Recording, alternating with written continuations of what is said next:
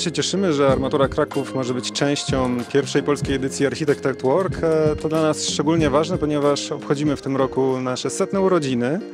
Mm, Tak więc chcemy niejako przypomnieć bogatą historię polskiej firmy nie tylko naszym potencjalnym klientom, ale właśnie tutaj w środowisku specjalistów, projektantów wnętrz, którzy często doradzają swoim klientom w doborze rozwiązań do ich e, domów.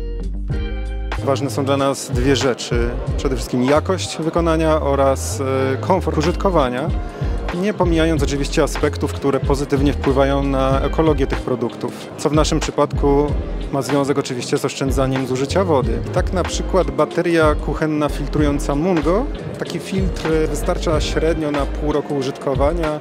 Możemy zastosować taką baterię w, myślę, że w każdym naszym domu bez specjalnych uwarunkowań.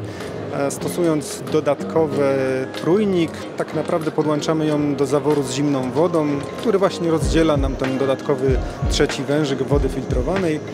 E, Filtr jest e, niewielkich rozmiarów, tak więc zmieści się myślę w każdej szafce kuchennej.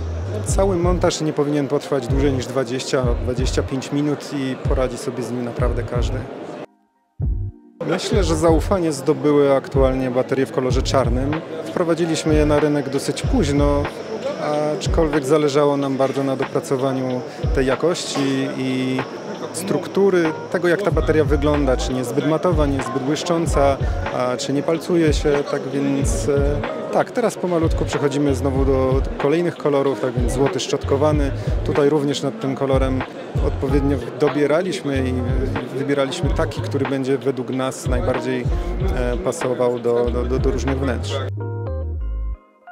Mamy baterie o kształcie klasycznym, ponadczasowym dla osób, które nie chcą się wyróżniać, ale właśnie stosujemy coraz to bardziej fikuśne kształty w postaci różnych wyginanych wylewek e, w nowoczesnej armaturze. Stosujemy technologie w produkcji zapewniające jeszcze wyższą trwałość i wytrzymałość e, na użytkowanie niż klasyczne chromowanie.